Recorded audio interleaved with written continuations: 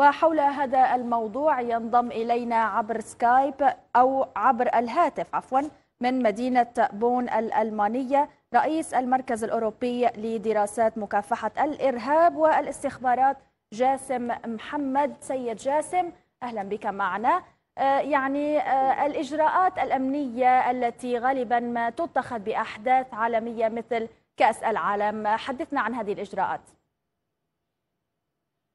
بالتأكيد هنالك إجراءات روتينية بالنسبة إلى الإجراءات التي تتخذها اجهزه الامن في المناسبات العامة وخاصة ما يتعلق في مباراة دولية أو مناسبات دولية أو مونديال دولي مثل يعني هذه المناسبة. فأبرز هذه ال ال الإجراءات بالتأكيد تكون هنالك إجراءات خاصة بتفتيش ال يعني ال يعني المت يعني الحضور ومن ضمن هذه الإجراءات بالتأكيد تكون هنالك بواب بوابات إلكترونية تقوم بالمسح والكشف ربما عن متفجرات.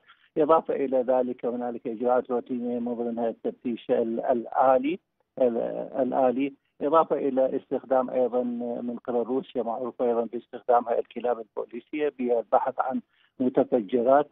يذكر بأن الجماعات الشيشانية والقوقازية معروفة بأنها ربما تكون انتحارية أكثر من غيرها وكانت روسيا شهدت عمليات انتحارية نفذتها في الغالب النساء سميت آنذاك بألأرامل السود انتقاما إلى أزواجهن من مقاتلين الشيشان. فاذا فالإجراءات أيضا عند نقاط التفتيش. هنالك نقاط التفتيش تكون على شكل أكثر من حزام أمني حول المونديال في سبيل التفتيش نقاط تفتيش. وكذلك البحث عن أي متفجرات. إضافة إلى ذلك يكون نشر تقليدي إلى أجهزة الشرطة في في المناطق الساخنة.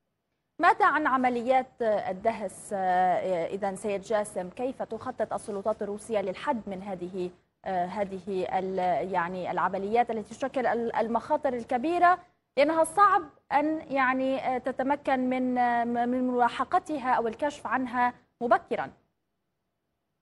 نعم ما يتعلق في عمليات الدهس يعني هنالك إجماع عند جميع الخبراء بأنه لا يمكن منعها ولا يمكن التكهن بها كون إنه المواد أو يعني الوسائل المتبعة هي استخدام أما يعني شاحنات أو عجلات لا يمكن منعها لكن هنالك حتى هنا في أوروبا وكذلك في روسيا بدأت تتبع إجراءات تقليدية بوضع حواجز كونكريتية وموانع نعم. خاصة في المناطق المفتوحة أو المناطق المزدحمة فتكون ربما وسيلة إلى منع أو تقليل حدوث مثل هذه الحوادث، إضافة إلى ذلك هي وضع الكاميرات والمراقبة المشددة. نعم، طيب التقرير يعني حذر من استخدام وسيلة جديدة وهي الهجمات بطائرات دون طيار وأسلحة كيماوية وبيولوجية، ماذا لديك عن معلومات من عن هذا الموضوع؟ ما يتعلق في إمكانيات الشيشان وما يسمى إمارة القوقاز في في روسيا. يعني لم تشهد سابقا هذه الجماعات بتنفيذ هذا النوع. يعني مثل هذه النوع من العمليات طائرات بدون طيار أو باستخدام أسلحة يعني مواد بيولوجية. لم تشهدها موسكو. وأجد إنه الآن ربما هذه الجماعات هي بالتأكيد هي تستغل مثل هذه المناسبات في سبيل إلحاق الضرر في روسيا باعتبارها هي الداعم الرئيسي إلى النظام السوري، لكن أجد إنه في في المقابل أجهزة الاستخبارات الروسية هي استطاعت من تفكيك العديد من الخلايا وأجد إنه هذه الجماعات ربما تقوم بشن عمليات محدودة غير نوعية، ممكن يكون دهس، ممكن يكون طعن، لكن أجد إنه موضوع الأسلحة البيولوجية المواد البيولوجية ربما تكون بعيدة إلى هذه الجماعات بسبب قدرة أجهزة الاستخبارات والشرطة الروسية. نعم. سيد جاسم محمد رئيس المركز الأوروبي لدراسات مكافحة الإرهاب والاستخبارات كنت معنا عبر الهاتف. شكرا جزيلا لك.